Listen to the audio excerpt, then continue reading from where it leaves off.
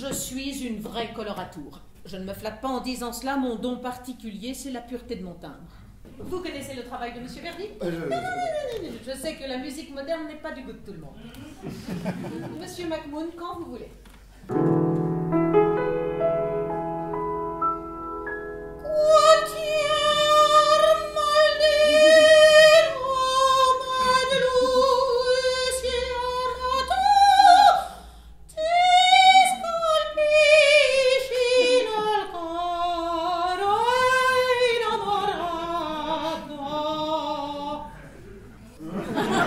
Étais-je en présence d'une chimère ou d'un cas de démence totale Avez-vous l'oreille absolue, Monsieur MacMoon Absolue Absolue Non, j'ai j'ai l'oreille relative. Oh, n'ayez pas peur de l'avouer, ça n'est pas honteux. Un récital. Rien qu'un. Quel mal est-ce qu'il y avait Après tout, c'était pas ma faute si j'avais la totalité de mon loyer à payer. Quand on chante un petit refrain de Broadway devant Monsieur Ravel. Alors les gens me demandaient tout le temps, mais comment elle fait? Ils auraient mieux fait de me demander comment moi je faisais. La rumeur se répandait comme une traînée de poudre. À chaque fois qu'elle chantait, il venait de plus en plus de monde. Et plus la rumeur enflait, plus le public changeait. Ce n'était plus seulement ses amis de Parc Avenue, ça ressemblait plutôt au public que l'on voit à la boxe. Nous allons ajouter deux récitals à celui prévu actuellement. Deux?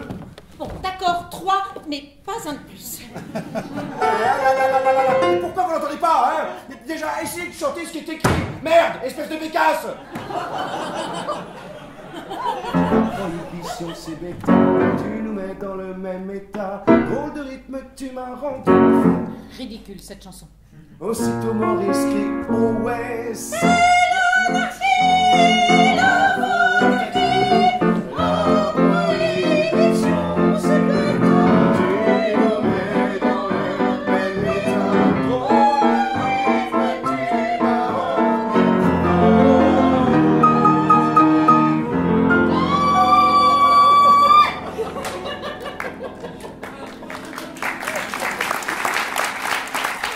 L'admirer. J'espérais qu'elle me transmettrait une, une partie de ses certitudes. Très cher, vous savez, je rêve d'atteindre un plus large public. Voyez-vous, on me propose Oui. un récital grandiose en l'honneur de nos soldats au front. Attendez, on vous propose un concert spécial. Ici, au Ritz. Pas tout à fait. Carnegie Hall la cerise sur le gâteau, c'est que j'ai décidé de chanter une de vos chansons. Ah non, non, non, je vous en prie. Ne me remerciez pas. Ça n'est que votre dû. Sa démesure me rappelait la pyramide de Khéops. Et si ça devait tourner au cauchemar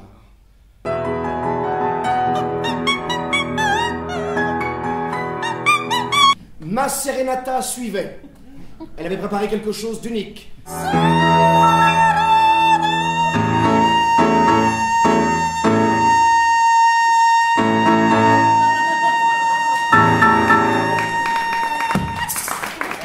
Pas les rires.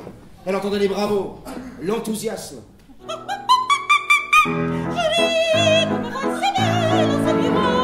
Il a fallu évacuer Greta Garbo au bord de l'hystérie.